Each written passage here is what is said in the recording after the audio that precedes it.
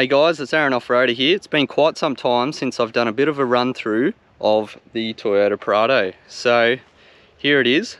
It is a 2018 model. It is a Kakadu. Um, so it's got a whole heap of gear on it. I'll start from the front. So let's go around there. If you haven't worked out already, I live up in Queensland now. So just in the Glasshouse Mountains. Got this sort of backdrop around, quite local. So we've got the TJM T13 Outback bar. So it's got 8,000 kilo recovery points built into the winch cradle underneath. So awesome bar in that regard. Uh, what have we got on the front here? We've got the TJM nine and a half thousand pound winch. We've got the Narva 215 Mark II spotties. These are the new ones. So you can pull these black covers off and then it's got the DRL in underneath it as well. So pretty simple. Just rip them off when you want to do a bit of night driving. Uh, we've got the LED fog lights and the blinkers in there. Got the bonnet protector. In the front here there's actually not too much going on at all I've just got rid of both batteries that I had in the front previously. Um, I've got a brand new AC Delco battery in the front here. Um, I think it's like 800 and something cold cranking amps. Got a little battery monitor Bluetooth thing. Uh, the fuse block, which I actually melted. So the spotlights use a little bit too much power for this, so I'll be replacing that. I just run the Torque Converter lockup kit, the UHF, and I can't even remember what that other one is to be honest. Uh, we've got the Ryco um, secondary fuel filter. Other than that uh, we've got a winch isolator big winch fuse. We've got um, a Redarc Tow Pro as well. Um, just changed all the battery terminals and stuff like that. So there's not actually much else going on in there the engine itself is all standard at the moment. The only um, performance things I guess you could say would be the snorkel, probably helps a little bit. Um, and then you've got um, the torque converter lockup kit. So those two things are pretty much the only thing done to the engine or transmission, which probably will be changing quite soon. I'll probably um, probably give a little bit of a tickle up soon. No real reason behind it, I just think be a little bit more fun. Um, might get a bit of fuel economy out of it, but the lockup kit helps a lot with fuel economy as well. So the reason uh, I actually have that is I actually worked it out, done a bit of maths, got a bit nerdy about it. Um, saving approximately one litre per 100, which it does, it was only going to take sort of 35 40,000 kilometers for it to pay for itself so um, and then increased drivability like it drives so much better holds gears doesn't drop and carry on. Uh, apparently the new ones with the 150 kilowatt engine the transmission mapping's a lot better so you probably don't need it on those models I'm told. But 2017 to 2020 or whatever it is definitely be looking at getting uh, one of those. On the front um, or underneath sorry you got the bash plates. So Kaon KDSS bash plates. So the bash plates before I didn't really go into how far they went. So obviously you got the front plates and then the transmission plate as well. I have had in the past their um, transfer case guard it's a massive unit. It goes from like say here straight across but it was actually something that I used to get hung up on all the time. So hung down pretty much the lowest of anything and it's right in the middle of the car so it just seemed to ruin the ramp over angle. So that's why this vehicle I haven't went with that. Uh, just TJM side steps rails all 63 mil tubing it's quite good so this is the KDSS model being the Kakadu which basically what that means is you have your big KDSS hydraulic sway bars. Yes, I have a leaking steering rack at the moment, so I'll be changing that soon. It's actually the first proper drama I've had with this vehicle is this um, steering rack leaking. So um, suspension wise, in the front here, so we've got the Cal Off-Road adjustable upper control arms, got the TJM XGS 4000s um, coilovers here. So these actually been really, really good surprisingly. So, you know, they're a fairly budget item. They've just dropped a new range. I'm not too familiar with it, but um, these have been awesome. Literally no dramas with them. They just do their job. You don't have to adjust anything or, or play around with it. They just do the job. So I've had this car for about three, nearly three and a half years now, and it's it's been awesome. It's been modified pretty much from from the start. Done approximately 80, 75 to 80,000 kilometers on it, and the tyres are starting to see better days.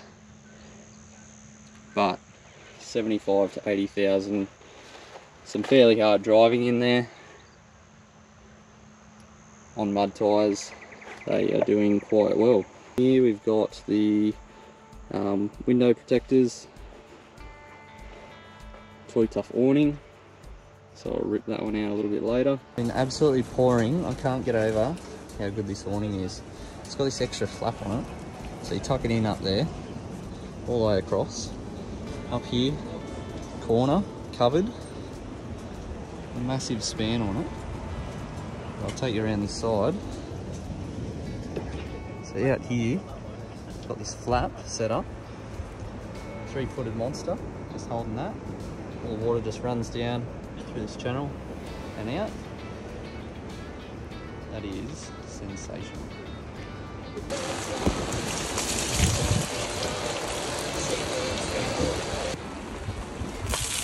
Alright, it is raining, obviously. Got work to do, so this is made possible by having a 270 degree awning. Absolutely awesome. Bit going on here at the moment.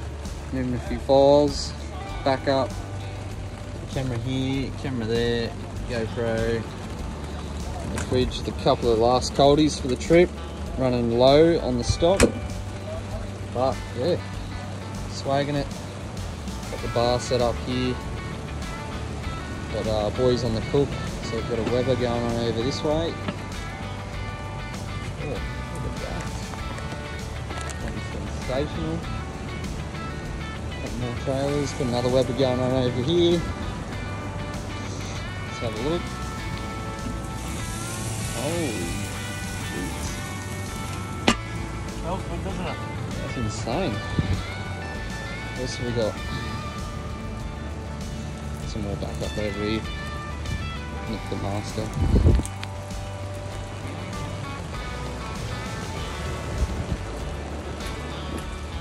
Absolutely unreal.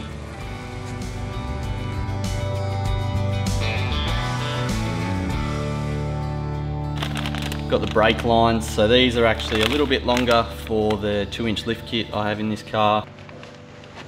We've Got the 315 70 17 on the Method 315 race wheels.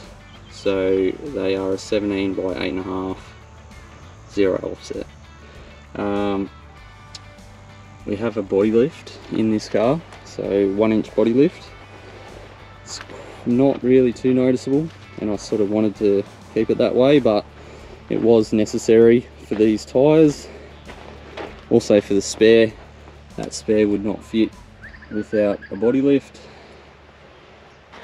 This spare's also got two wheel spaces behind it so it's got 12 mil space in that off the standard mount. No other modifications done to get that on there. Uh, the rear bar obviously that's mounted low where the chassis is and then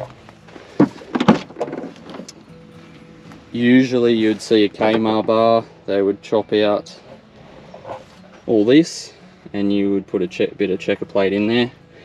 But this actually worked quite well. We were very careful how we done the bumper cut on this and we managed to actually keep that bottom section of the bumper. So all that's obviously the standard stuff there. Works extremely well. In the back here, you guys have seen this before, done a few run throughs on the back. Uh, 85 litre Bushman's upright fridge in the RV Storage Solutions Premium Alloy drawer system. So extremely lightweight. It's got this whole surround, which is actually really cool. Uh, we've got the Kaon shelf up the top there with the TJM compressor up hidden up in there. Storage for lights. Got Kev, Kev up here. Got some patches. I've got patches all through this vehicle, so you'll see a fair bit of cool stuff sort of getting around. Fridge temp gauge.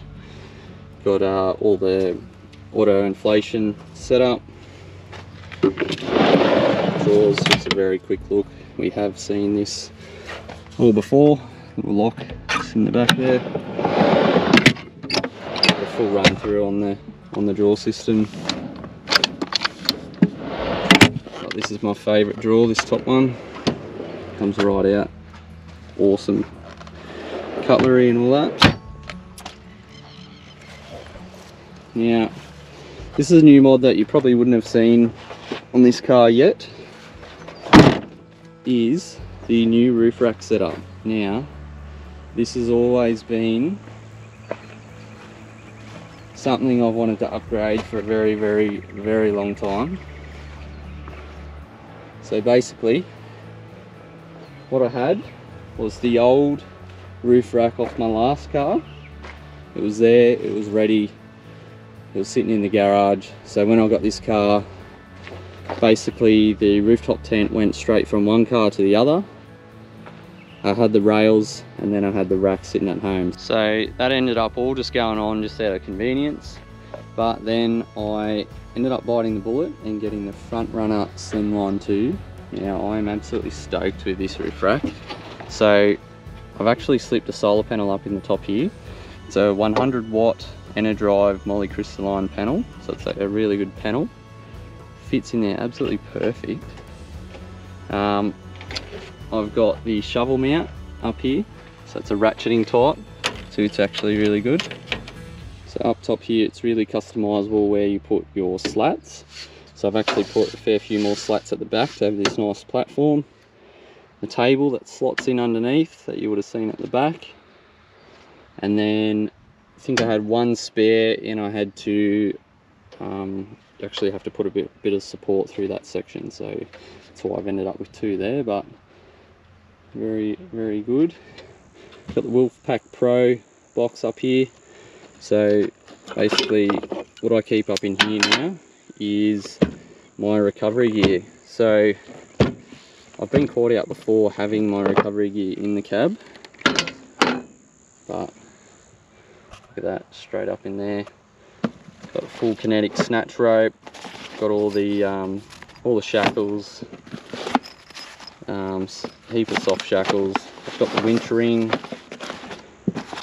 um, and a winch extension, so plenty of gear up in there and a um, utility rope.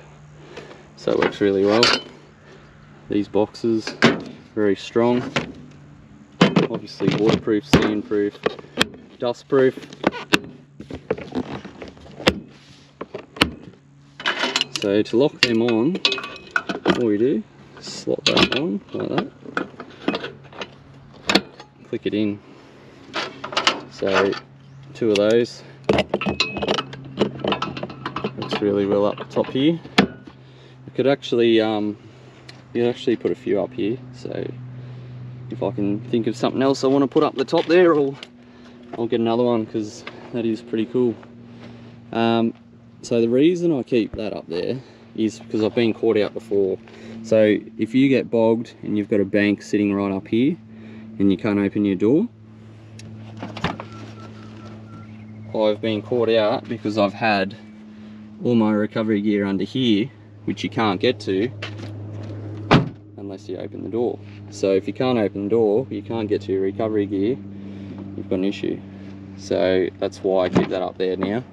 You literally can never not get to that unless you flip it on its lid and then you've got bigger issues. Uh, if I put it up the top here and wind the window down, that sort of worked, but then you've got to have it all in the cab all the time. So it's quite good up the top there, and then I, when I get home from a trip, I just take it off, put it in the shed, um, and then it's all out of the car. Uh, what else have we got? I'm actually going to pull this rack off soon um, when I figure out what what um, what lights I'm going to go. I'd like some light bars along the front here and obviously some camp lights would be nice on the back. So I've got all the switching for that already. So some little camp lights up in here would be pretty awesome. I've got the um, bottle opener up here it's an essential. So switches down here rear lights camp lights. I wouldn't actually mind a little light in here along this that section there or something because I have all that table that comes out out here. Um, so I've got the air outlet at the back. So that's what I run the T-piece off for the two back tyres for their full air inflation setup which I'm not sure I've really showed in detail before but all you do is turn it on and then it's like a service station. Set your pressure. I've got an inverter up in here now. So a thousand watt inverter. Remote switch down here. Just a junk section here which is quite messy at the moment got a Redarc 40 amp core. So this is their new DC charger. It's 40 amps it's lithium compatible. Um, and yeah it's sort of made for internal use only. You can't put this one under the bonnet which doesn't matter because I didn't want to anyway so that works really well. Saved a bit of money. Then I've got the 200 amp lithium battery which you can probably hardly see in here. So all the power points and that that is the 200 amp lithium battery. So that goes a fair way across. Just past there. This thing's been awesome. It's actually got a little readout underneath. So I've literally never seen this thing under like 70% um, so yeah stoked. It's done really well. Uh, the plugs are literally just Anderson plugs for the whole setup. So that inverter was a was a kit I just bought. So I just plugged it in ran the wires up to the back put the two positive and negative on ran that remote thing and that was it. Like such an easy install with that sort of battery. Um, underneath so the rear I've just got the same sort of TJM XGS shocks which you won't see in there nothing too fancy but they just simply just work same as the fronts so we couldn't actually see underneath, so uh, I'm just going to raise the airbags up. So to do that, literally just come in the cab, start the car, click that up, and then you'll see, sorry about all the dust, but you can see this section down here is going to high. So I'll just let that pump up for a little bit. You'll actually be able to see underneath. while we're at the back here, might as well talk about the rear bar. So it is a custom rear bar. You would have seen the build on that. It's actually a Kaymar originally that's been ran into. It's been in an accident before on a mate's car and I sort of got it for free so we started cutting it up and widened it so you see this double double kink there there and then around. So fits quite well, but I have hit it a few times. We probably should have done the bumper cut a bit higher so there's a bit more of a gap because it does rub. And I have had some issues with tail lights and popping the bumpers. Um, some really hectic tracks but anyway. And the custom uh, lights so these aren't actually flicking for my eyes in front of me right now but it looks like they are on the camera. So um, yeah awesome tail lights. 38 bucks a pair off ebay and they actually look awesome. The uh, blinker is progressive as well. So now that we can see under here see the airbag setup so three settings high ride height and low. Two game shocks. And then this is the KDSS sway bar. Is set up here so that is your hydraulic cylinder. Attachment to the diff housing. And then the other side it's actually fixed. So this this side doesn't move. It's sort of the the mediator for the two. And then this one does all the adjusting on road. So it'll stiffen up in tight corners. And then off-road it'll let it go loose a little bit so it'll let it articulate which is pretty good system. It's really strong like the size of those control arms are, are crazy so got the reverse camera uh, relocation. So that's actually a pretty good kit as well from Kaon so that wire the wiring for that reaches from the factory point you've just got to stretch it down a little bit down through there. And then it just reaches to there and then you can adjust it. You can see your um, tow ball too. This is just a McHitch coupling. So yeah obviously work for a trailer company um, signature camp trailers and this was a hitch that we used to use a fair bit. They um, we don't use them anymore because they've closed this McHitch business just recently. So usually the Cruise Master DO35 or a Lovells, new, new Lovells Haul Ace are the ones we use. Next time you see content on this vehicle, probably be some more mods. So I'm looking at, I'm just waiting for a little bit, but I'm looking at doing a full sort of rebirth on this thing. So new tyres, maybe wheels, I don't know. I'm going to decide that yet, or otherwise I'll give these ones a bit of an update. They've got some new um, center caps and, and black bolts for around the rings, which I might try out, might look pretty good. Uh, looking at doing all the lighting on the top, which would be awesome. Uh, a bit of power, so exhaust, um, tune. It's already got the throttle controller settings as a Kakadu, so it's got sort of three settings. Um, Sport Plus is the, the top one. Um, what else am I looking at doing? Just a bit of tidying up on the rear bar, because that's a bit of a mess. New steering rack, um, mud flaps on the back again didn't mention on the front here oh I've got the aftermarket grill so aftermarket grill on the front quite a cool sort of setup uh, they don't actually sell them anymore so I was quite lucky to even get that one when I got that one I've got a few battle scars as well so on the front here I could name a few of them this one is the barge going to Fraser Island, so the Manta Ray barge. Bloke was guiding me, come on, come on, keep coming, keep coming. And then I'm thinking, oh, this is getting really close. And then bang, he's guided me straight into the barge. And I just looked at this bloke and just went, are you serious? Um, and then got out and it was only that. So it was, you know, not too worried about that. It's a bit of a memory now. Down here, this is all in the Simpson Desert, uh, the French line. So I went over this hard line went right to the top of this dune. It was actually, it was in the dark, I remember, yep, it was in the dark. So got up to the top and there was actually no track that continued down the back of the dune. So it was either like you turn around and then go back. But there was another sort of sneaky one that went down that sort of no one really took. went down and then sort of jammed it into the bank on the other side of the track as I was turning. Scraped all that.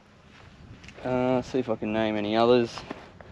This is um, this is Lithgow. So went to drive up this this rock. It wasn't Moon Rock. It was one of the ones. Um, just had a campsite there and just went smack straight into it. Didn't have the approach angle for that one. Oh. Come. If you start a little bit more this way and then turn into it, you'll probably have a bit more clearance.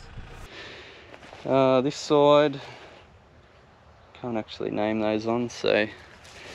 But I've never really dinted the car. I've never put a big, large hit in it. I've done a fair bit of traveling in this thing.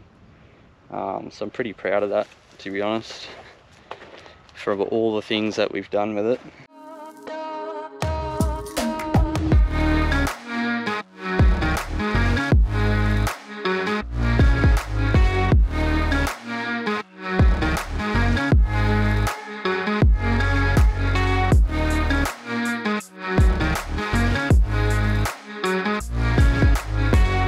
So I've never really had any major damage. Um, but yeah.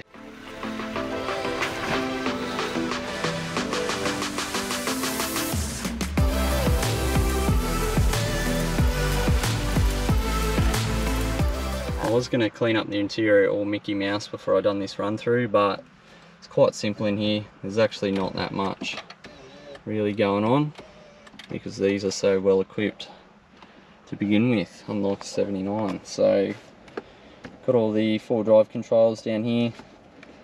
High four, low four, center diff lock, rear locker, crawl control, which is awesome. The um, multi-terrain select, which is awesome. So you just press that and then adjust your settings. So you've got like rock, moguls, um, sand, mud, all that sort of thing. GME XRS 370 so definitely does the job my uh, radio is always probably the best in the convoy whichever convoy I go with so I've either got the stumpy antenna or I've got the the 1.2 um, 6.6 dBi so sort of got that option whether I want to have that other one on there or not patches Got a fair few patches on the roof. So our new Ranger ones. And there's another one over the other side. I've got the little front runner metallic badge there, which is awesome, front and center. Some of the places I've been, say Barkly, Mount Dare, Kulgera. A few more over here. So another Ranger one, Wycliffe Wells, Uluru, Stuart's Well, and Curtin Springs as far as aftermarket mods this is all sort of custom setup so this is a little infill that you buy to get rid of the um, small square ones because they were really hard to get in the early days I've got the driving lights roof light bar which isn't hooked up the reverse lights and this is the torque converter lockup kit. So this is a master on off so at the moment it will lock the torque converter in at about 70 kilometers an hour and it won't unlock until 60 and then if I press this button here it activates the low speed mode so that drops the speed down. So it'll lock in at 40 and it will unlock at 30 so on the beach I can actually get it to lock in in the soft sand. And then as long as I stay above 30 k's an hour it will stay locked in. And that just reduces all the heat out of the transmission drives awesome. Got good throttle response. You can get yourself out of sort of any dramas so that is awesome there. You can actually pull the controller out and adjust some um, dip switches and you can change this, the um, the speeds that it engages at. I haven't actually really bothered with that because it's quite good as, as it is. So it's a Richards Auto electrical, full speed, automatic torque converter lockup kit. It's a bloody mouthful, I know that. So that's all tucked up, up under there. It's got three big relays that it flicks through. I think the stock lock one might even be the go-to at the moment. It's um, I think it's sort of more more up to date system. As far as the radio goes, we are actually not running anything fancy here, so just got the standard Toyota radio. No Apple CarPlay, don't really need it. I don't get too fussed on the Apple CarPlay, I'll just use the off-road nav. This is really good on the Toyotas, so as you can see, like you can literally, it picks up all the fire trails, everything. Pretty awesome. Got the quad lock mount up here, so just lock the phone on that. Never comes off. And charge it, so bang, there you go, charging. So as far as the uh, front's concerned, got the fridge or the toolbox, uh, heated seats, just yeah, charging up the front here. Pretty pretty simple. Sunroof. So that's the uh, that's the bottom of the roof rack right there. Solar panel, but still got a bit of bit of a view through there. So anyway, that's the interior of this Toyota Prado. I hope you love it as much as I do. Uh, thanks for watching guys and see you on the next one.